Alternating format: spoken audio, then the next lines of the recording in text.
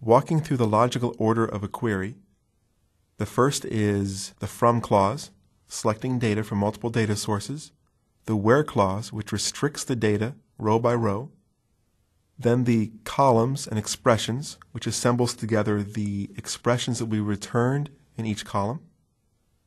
And now we come to the order by, which actually provides some sort to the results. The most common way to do an order by is simply by listing the columns you want selected. For example, and zinger, look at that, wrong database. Happens to the best of us.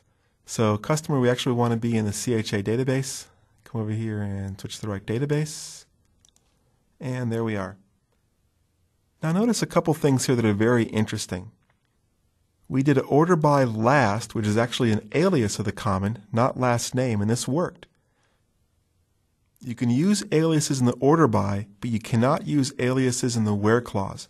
The reason for that is plain if you look at the logical flow of the query, and that's because columns come after the where clause, but before the order by clause. And notice here that the order by is able to refer to the alias of the last name column.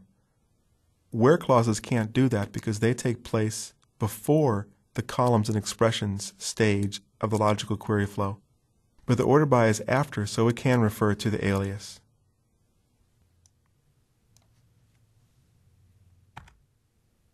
A second example is that the order by can actually refer to an expression, in this case last name concatenated with a comma concatenated with first name.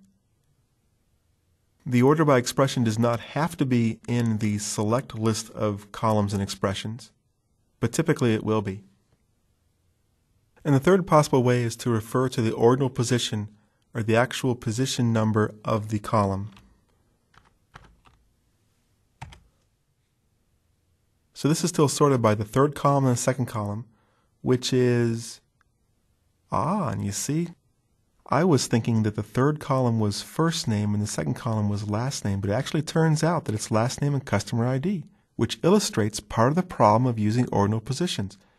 Never a good idea. In fact, a worse practice is to say order by and ordinal positions, because you're just basically taking a guess at what's going to be where. As people change columns, you're going to get something wrong. And of course, you can always sort descending as well.